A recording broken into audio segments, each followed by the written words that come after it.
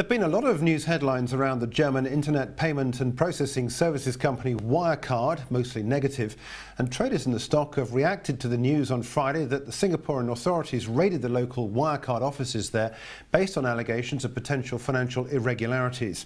However, the chief executive officer, talking from his offices in Munich, uh, Markus Braun, has come out fighting, telling journalists that the reports are based on evidence that is either faulty or forged.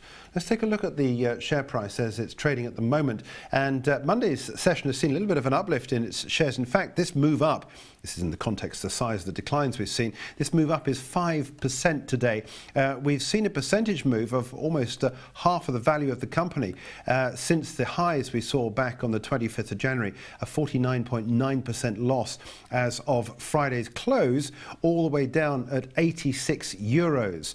So the market's bounced back off that on that uh, news that we had took it all the way down there on those uh, uh, raids in Singapore and uh, the stock is up. I think really it's rather than explaining more about how to trade this, I think this is really uh, an obvious uh, case that uh, when you get fundamental news, you can see wide swings in the stock. And if we get positive news, we can see pretty much most of what we've lost over the last couple of weeks returned uh, to the value of uh, the company. That being said, uh, if there is any uh, allegations that are proved correct, then presumably there will potentially be more downside to come. But at the moment, at least, uh, the stock is up 5% on Monday's session.